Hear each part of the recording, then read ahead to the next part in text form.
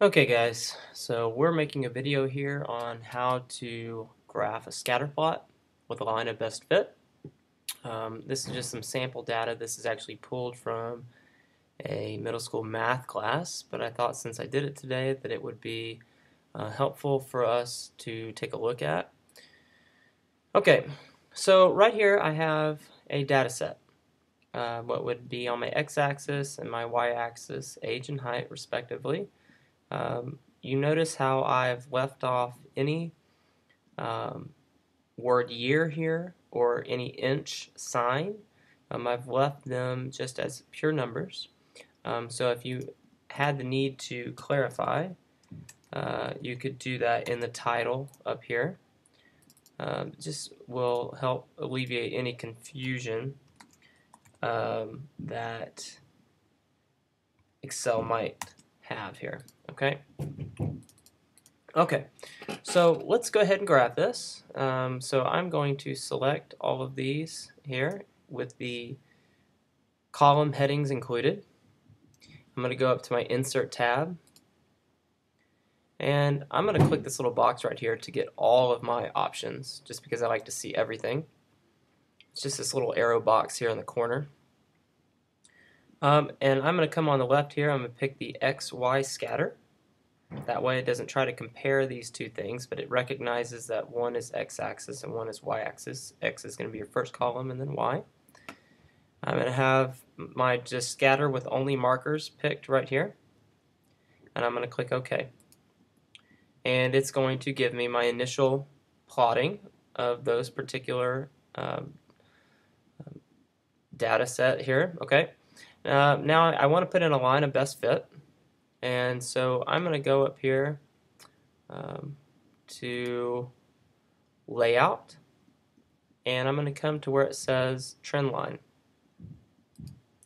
Now it gives me some options here um, linear, exponential, okay, forecasting, those types of things. I'm going to come down here to more trend line options to make sure I get everything that I want.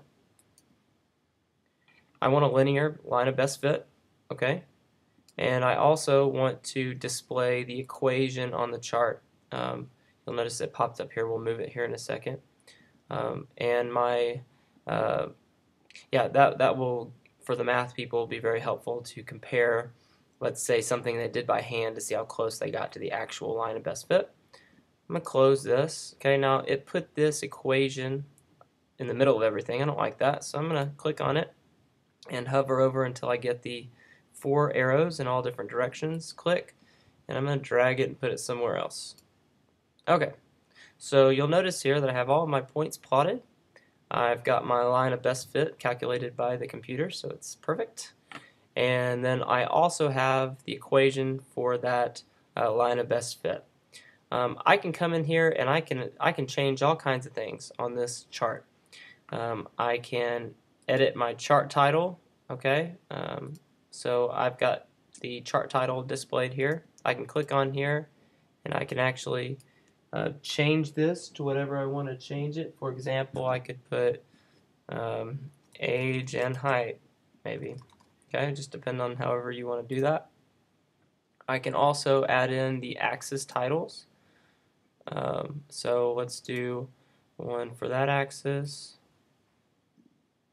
And then I want to pick one um, let's say that it's rotated here. Okay, this would be the normal way.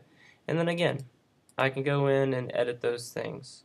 Okay, so I may have age over here, and I'll indicate that this is in years. Come down here, and I can put um, height and indicate that that's in inches. Okay. Um, I also can decide what I want to do with the legend here.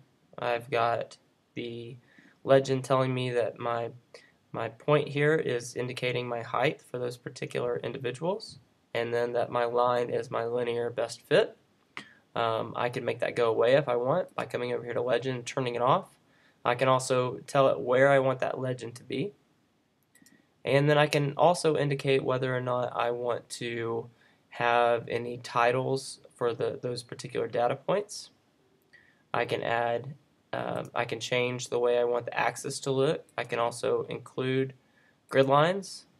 Um, so I'm going to do my, uh, let's just do my major, sorry, my major grid lines for vertical and horizontal.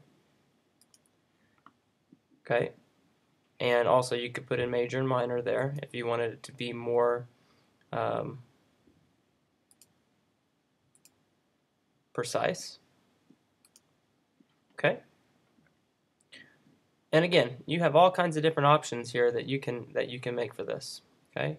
Um, I'm going to click back on my home tab just to make everything look normal here. So you see that what we've done is that we've taken a data set, we have graphed it into a scatter plot, um, we have added a trend line or a line of best fit, in this case a linear trend line, and we have also shown the equation for that trend line or line of best fit. We've added in axis labels, both for the x and y axis, and we have changed our title to be more reflective of what we're looking at here. And we've also added major and minor grid lines to uh, make it look more like what would be drawn by the student if they were using graph paper, or to provide just a little bit more clarity and reduce some of the ambiguity in where those plot points are actually residing. I hope this is helpful. I'll make more here on graphing different types of data, but I wanted to share this one with you since I did it uh, today. Hope you guys enjoyed, and we'll see you next time.